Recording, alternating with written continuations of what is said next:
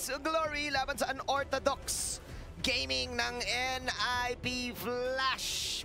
Ingan, Minsitar, classic counter yan para sa mga nagdadash. Daming na-counter. Sinabi na nga nila kanina, the Ruby, the Ling, and the carry with the Phantom Step. Tatlo ka agad. Na-checklist ang ni Diablo with a flex. XP lane, doon bigla. Mapupunta syempre yun nga, nasabi mo na Mr. Diablo. Ang uh, pinakamaladiablo na mga pagdating sa mga heroes at mga pickings. Sa kanya ngayon, tututok itong laban na to. Medyo gusto ko yung lineup ng uh, Evos Glory pare. Kasi nung uh, iisipin mo, ganun naman talaga. Kapag magkukuha ka ng assassin, kailangan yung side lane mo eh, medyo makunat para kahit pa paano yung, yung kunat na tank ay meron pa rin kayo. Hindi lang purong damage. Para may nakaka-front and at the same time may nakakapag-setup din. Tapos hahayaan ka lang talagang magano eh, no? Oo. Mag-wreak havoc with your damage. Pero ngayon, ang una nilang binibigyan ay si JPL. Mhm. With the show na nakakagulat ha, pinriority pick talaga nila yung JPL. Medyo kakaiba yung ano no, yung ah, pacing nitong ah, NIP Flash. Masasabi ko dito, Kuya Ingan, sa mga hindi nakakalam, ha, si JPL ay dating uh, membro din, kung di ako nagkakamali, ng EVOS, pero ibang EVOS pa yun. And that was uh, the Singaporean uh, squad din Ah. ng EVOS. And um, itong uh, player na to ay kabatch pa ni Naribo, So may pagka ano na, the veteran. may may veterancy na, may Mm. onting kaedadan na. Mm, the veteran na yan. Pero Kaya, gumaganyan pa rin yung mga picks niya, nagchochow pa rin. pero pumapalag yan. At syempre, hindi lang naman si JPL ang ating bida dyan. Nandiyan din si Kurt TZ, the Edge Lord. Nagmula sa Pilipinas at syempre si Hades, ang kanilang jungler. Na alam naman natin ang ah, kwento, ang Batang Pasay na nandito na ngayon sa Riyadh. Alam mo, ano ah, fun fact kay Kurt TZ. Mhm. Nung nakasama ko kasi yung Eco Proud, yung dati niyang team sa MDL na nag-back-to-back champion. Inamin nila James na si Kurt TZ ang pinaka-mechanically inclined player sa five-man lineup nila. Oo, naalala ko nung nabuo dati yung super team eh. Siya yung pinaka-tahimik tapos talagang focus lang pagdating sa microhan. The fact na napunta rin siya dito sa Nip Flash na medyo flashy ang galaw. Kaya nga naman sila Nip Flash eh. Oo, kaya tsaka kaya din daw nakakapag-pull up siya ng mga Martis mid, mga Lapu mid, mga Kadita. Kaya, kaya ganun. Iba talaga si Kurt TZ. flashy para dito sa NIP. Kaya si Kurt ngayon on this uh, on this farce. uh, kung hindi yung nagkakamali, napakarami na ring roles ang na, nagawa nito ni Kurt. Eto na, King's Calling coming in. That's the first blood mula kay Diablo! At syempre si Hades din na makakuha ng turtle. Kinagat na naman ngayon na itong Barats. Floppy, babanatas JPL, but JPL has a steadfast passive. Sabay out with the Cyclone Eye. 1-0 sabay turtle. Ang daming kalamangan ng NIP Flash. Daming nakuha, Turtle plus 2 kills. Tapos ang kagandahan pa dito ay si Vanix. Nalalamangan nga talaga si Brands. And this is expected because this is a Roger up against Akari. And knowing Evos Gloria, nagmamadali talaga ngayon yung NIP Flash. Kasi at the same time, alam nilang mga late game, game gods din talagang Evos Glory. Tsaka balita ko, gusto nila maabutan yung lunch doon sa hotel. Ay, oo, kasi abot pa eh. Abot pa eh. Kasi, 12:15 pero sa. Pilipinas, wala na. Anong oras na ba kasi sa Pilipinas? Dinner na. Magdi-dinner na. So, minus 5 nyo na lang. Alauna pa lang kasi po dito. Anyways, yeah, you're definitely right. Uh, and with this uh, lineup na meron kang uh, Ling, gusto mo early game, makapag-snowball ka. Pero ang problem, maraming habang counter-snowball itong side ng NIP Flash. JPL, going out. Mawala na naman si Dreams. Nako, ingan. Nauunti-unti, unti lang ha, ang ako po na ng Evos Glory. Bilis gumalaw ng NIP. I- isipin mo eh, the job's done. Alis ka agad si JPL. Alam niyang hindi siya ganun katangke enough para masustain pag nagtempla sa blade itong si Annabelle na naka Warcry pa nga. Kaya naman pagkasipa niya, umout na kaagad eh. Kaya ano siya, kumbaga action. Action Jackson eh. Action pa, action talaga tong ano yun, no? NIP Flash. Unorthodox picks, nagbabadang. Ngayon, main sitar. Ang problema lang siguro sa main sitar, eh kapag nag-late game, alam naman natin, power yan ng Evos Glory, 3 item spike. Kapag nag-miss yung King's Calling niyan, it's time for the Evos, an- kung ano man tawag nila doon, basta it's time for the Evos time. Ibos time na. Kumbaga, pagdating sa late game, ba- bawat kasa ng ultimate crucial. At yun lamang ang hihintayin ng Evo's Glory. Pag nakasa na nga yung ano, King's Calling, go signal na sa kanila, makakalaya na ng maayos si Annabelle. Wreck Havoc, wreck Havoc with the Ling na actually ginamit niya kahapon against RRQ. Pero eto na nga ulit, yung Spear of Glory onto the rims. Talaga naman binangungot dahil sa Spear of Glory ni Diablo. Pinagtutusok-tusok, ginawang kay Bob. At ayun pa, napakaganda sipa, old school sipa mula dito kay JBL. Si Flappy ngayon kalate ang buhay. Tumusok ngayon si Annabelle, mawala si JBL. Pero mas maganda pa rin yung counter kills na meron ang NIB Flash. JPL, ang bilis talaga ng ano? Ng kilos doon. Asans pa rin ang veteran. Kahit ano na eh, may ano na. Basta alam nyo na yun, veteran na yan. Kaya-kaya pa rin talagang makipagsabayan. Uy! Pero ito na yung magpasok ng Evil's Glory. Naagawa nila yung Turtle. At ngayon nakapag-free hit dito. Itong si Brands plus another kill. Talaga namang binabawian si Diablo. Hades, kinakailangan lumayo ngayon. And Evil's Glory, nakakasagot ka agad. May hulog pa rin, may hulog pa rin si Annabelle, Mr. Paranormal. Ingan, magana pa rin kasi naman yung Ling, napakadaming poke capability this time ng Evo's Glory. You have the the Barrett's ultimate, meron ka pang Clocon with the pokes. So ang gagawin na lang ni Annabelle, clean up crew. And with this, yung puso dito ng Indo Pride Evo's Glory, tumatabla para sa NIB Flash 16K. Actually, sila pa nga lumamang na bahagya. Oo, kasi nakakuha sila ng Torre. Yan yung kagandaan ng mga assassin junglers ngayon compared sa mga utility. You have a lot of uh, time to split push, make plays, and make a comeback. At yun ang ginagawa ngayon. And looking at the replay, no, ang ganda na sana ng initiation doon ng uh, na NIP Flash. But the problem is, bumalik kasi, nag-re-engage si Annabelle. Alam na nawala yung King's Calling, yung pang-counter talaga sa mga dashes nila. Nung nawala na yun, it's go time. napakadaming ah, umaasa at napakataas ng expectations dito sa Evo's Glory mula sa kanilang ah, region Ingan. Probably one of the highest fan base na teams na kasali dito sa MSC 2024. And again, the, struggle na ginawa ng team na to, yung miracle run na ginawa ng team na to onto the playoffs, eh, even na Coach Teo, damang-daman niya yun na maging siya mismo ay gulat na gulat na, na, na- maging sila ay nag, nakakuha ng slot para dito sa MSC 2024 at dahil yon sa puso, sa puso ng Tigers. Isipin mo, no, mid-season, nagkaroon ka ng roster revamp. Mm, Ang hirap nun. Sunod-sunod yung mga sweep losses nyo. Diba? Kaya ayan na nga, dinaan sa may kruhan. Wala si JBL, true damage coming from Brands. Brands with a kill, one for one. One for one, pero okay lang for NIP Flash because that's just a, the roamer para sa XP laner pero parang hindi pa ata sila tapos doon. Nasukap naman ni Hades lahat ng damage but here comes Cortezy! Habot ba kay Aspir of Glory? Ay, wala pala doon si Diablo. Kaya wala pa. Wala pa, wala pa. Wala pa si Kuya Jab. Meanwhile, Turtle lang muna. NIP Flash, hook mula kay Jablo. Rabel, Annabelle, babanat! Sino makakuha ng red 3? Walang iba kundi si Vanix. Vanix yung red retribution, masuslow si Dreams. Flicker out for Dreams. Dreams out. Hades nandito, mag-abol pa ni NIP Flash. Hindi siya ganun ng Toton on to Brand pero makakatati naman Spear of Glory na naman doon kay Dreams. And that's a kill na hinahanap ng NIP Flash to extend the lead and end this game early. And ano lang pala, si Vanix pala yung ano, gold. Oo, Vanix yung ah, nakakuha ng ah, turtle, na Turtle. yon. Sumubok doon actually si Annabelle. Kaso nga lang masyadong malayo yung range I think para doon sa retribution. Inulang. Kinulang.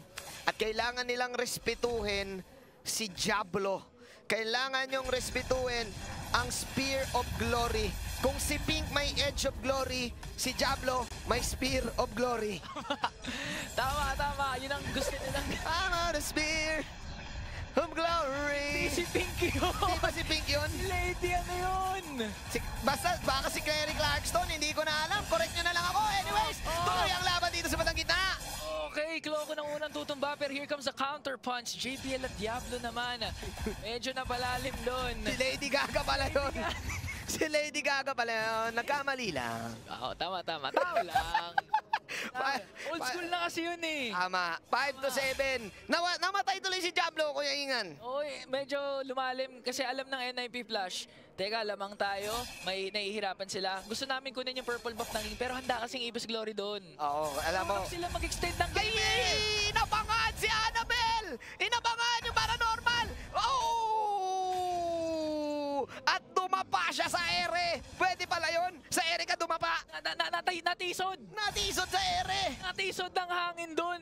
Pero ginamitan din kasi ni Hades ng Red 3 just to secure the kill and it was really worth it. Uy, Pero oy, oy, kumain! Kumain! Oy, oy, oy, ang ganda ng pagpasok doon ng Evil's Glory pero sumasagot naman ng NIP Flash. Hades, hindi na umabot yung ulti. Pero na-stun dito si Fluffy. JPL hinahabol si Clocon. Fluffy na flicker out. And here comes Diablo with a King's Calling. JPL with a Jit Kundu. Tatlo ang tutumba sa Evos Glory. Si Hades lang ang nawala. Lumaban dito yung Evos Glory nang wala si Annabelle. At dahil yun, sa ginawa ni Curtisi na pag-abang sa kanya. Pero medyo maasim ng, medyo may mukasim sarap. Si Banix, ayan o, oh, inabangan ni Curtisi. Curt, Curt, ah, alam mo na yan. Nang, may nangyari kasing laban doon sa baba eh. Hindi ko alam kung namatay si Banix. Di ba natin nakikita dahil replay yun sa main screen ngayon. Pero teka lang, Annabelle, nag-orange buff. And anyways, Anyways, ano na? with this replay, Ingan, yun na nga, ito na. With this replay, nakita natin, masyado rin kasing gino ng uh, Evo's Glory, knowing na walang Annabelle, ni-risk nila. Kasi magkakalord eh. Kailangan. Buti na lamang hindi rin naman naman si Vanix. Pero here comes JPL again. Kinain na nga ni Flappy. Napikon na. Nandyan pa rin naman. Godlike na for Vanix. Plus the kill on to JPL. Regroup ang NIP Flash pero nakahawakan pa rin ni Hades yung Lord. Mas gaana yung action ng NIP Flash dito. Eto na! Napakagandang King's Calling pero tinamaan ng mga germs. Wala to si Diablo. Tumatakbo si Oh! Diablo. And Annabelle! Dama mo yung Retribution, sinapusong Retribution para makuha yung Lord. Comeback Kings! Ito lamang ang iniintay nila kahit butas ng karayom yan, papasukin nila dahil alam nila, kayang-kaya nila makipagsabayan sa late game. Again, they have the carry, they have the ling. Manjin, parang delikado ngayon ng NIP. Napagdaanan na namin lahat ng dapat pagdaanan. Sabi ni Annabelle, napagdaanan namin lahat ng mga content creator na kino-content yung Evo's Glory. Lahat na ng lahat na ng mga judgment, lahat na ng panghuhusga kay Coach Teo. Pinagdaanan na lahat ng mga nagtatanong nasan si Coach Teo. Pwes nandito siya ngayon sa Riyadh. At dahil dyan, 8-12. What a comeback. Kaso basag lang din yung Lord. Sayang ang hype. Basag lang din yung Lord. Wala din. Okay lang, naman sa kanila yung kalamangan. Ah, oo nga naman. May space. May space na. May space. Saka ito rin naman yung gusto nila eh. As long as hindi sila mababasa agad ng inhibitor turret, may extend nila yung laro hanggat sa ma-activate nga talaga si Brands na alam naman natin, dalawang version lang kasi meron kay Brands eh. Anong version 1? Either you're the best gold laner in the whole Indonesian country, And version 2? version 2, wala si Brands. Yun lang talaga yun. It's either you win or you lose. Kasi pag kay, dati sa Todak ka lang hindi sure. Oo. Ngayon, sa Glory, na. hindi ka na rin sure. Hindi ka na talaga sure eh. Kanina lamang, hirap na hirap sila sa early game but with one good Tempest of Blades from Annabelle to secure that Lord away from Hades. Actually, napatay pa nga niya si Hades nung nakuha niya yung Lord na yun eh. Napamali ng pwesto si Kuya Hades. At saka kasi si Diablo, si yun nga yung sinasabi natin, Kuya Ingan. Yung ultimate niya ni Diablo, pag nawala yan, Yarichi! Oh! Pero si JPL pumasok mo na Jit Kundo kaya naman parang nakabawi ang NIP. Pero kung si Diablo ngayon, nakakasagot ang Evo's Glory, kumakalmot, pero parang siya ata ang natusok doon ng, ng, ng tusokan ni Hannibal. Kurt Daisy napapalayo Oh. ngayon. Wings by wings makakatakas. Hades na lamang ang natitira pero tatandaan natin, magaling din dumepensa yung NIP. Ay, na natin, sabi ni Hades, nangyari na sa akin to. Panoorin mo yung replay, watch your replay, player. Nadepan, nadepan ko na to. Tingnan natin, nag-ton, na-dodge. Ang ganda ng dodge balls. 12 seconds pa si JPL.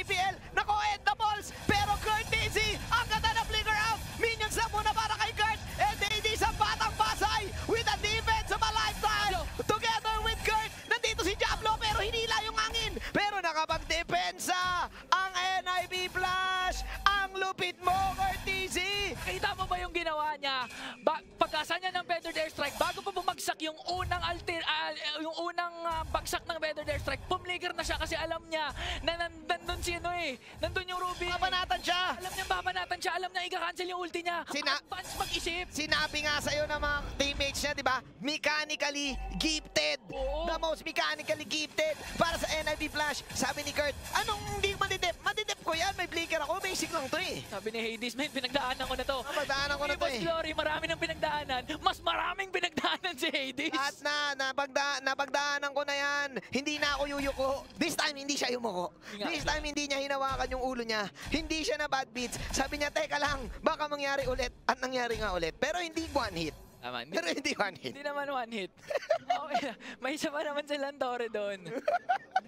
right on time din naman yung pagbuhay doon ni Diablo kaya naman na-clear nila kaagad yung mga minions. Kaso, inga na masasabi ko dito, yung Ano? microhan talaga ng Evo's Glory. Isa lang masasabi ko talaga sa Evo's Glory. Basta three items na sila, laban na yun. Oh, naka 3 items na kasi si Branch at si Annabelle eh. Yun nga eh. 6 na nga eh. Basta three items. Yun na. Palag na yan, microhan. Depensa pa Ay, rin ang naku. kailangan, kailangan sa NIP! Okay, tingnan natin. Medyo magulo ang nangyari laban. Wala si JBL, killing spree. Tapos si Brad pili ng item. Ayun yung King Soling sa bandang gitna. Pero mas masakit na rin si Annabelle. At ayun na, yung kanyang ultimate at tusok-tusok power prowess. Four heroes are down as Evo's Glory will put this one in a bag. 70 to 14, game number one.